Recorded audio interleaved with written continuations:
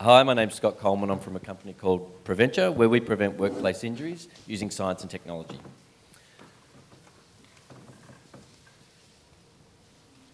Five years ago, I was part of a team that was responsible for preventing injuries in some of Australia's best athletes. And we did this using wearable technology, where we'd measure the physical demands of the tasks and the capacity of the athletes to perform the tasks, and then use data analysis to identify the injury risks and reduce the risks.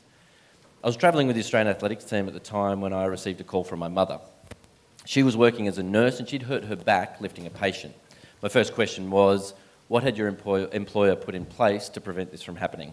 She said there's a safe lifting manual in the head office, and that was about it. So basically, that's a picture of her when she started her, her career as a nurse, and that's what her back looked like at the end of it.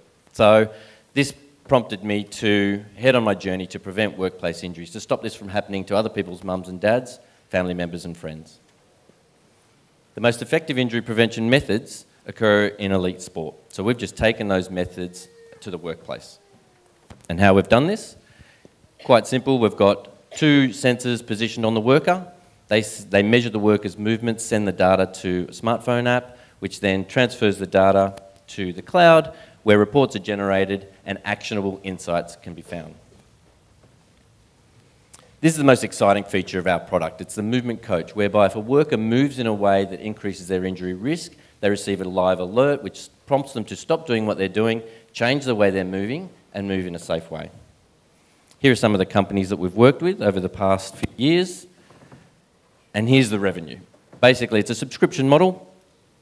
Our land and expand growth strategy is working so far, starting with a free trial, moving into small subscriptions, five to 10, and then expanding out into the company. Results, basically, we've, we launched two months ago. We've got 80k in revenue so far, of which 31 is recurring, and we've got 120 subscriptions in the pipeline. So our vision is to become the global gold standard in workplace injury prevention.